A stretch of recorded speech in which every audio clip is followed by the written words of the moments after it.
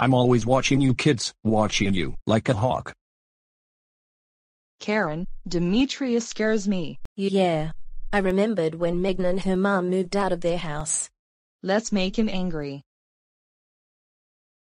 Karen and Molly the football head, how dare you make me angry? That's it. I'm calling the police.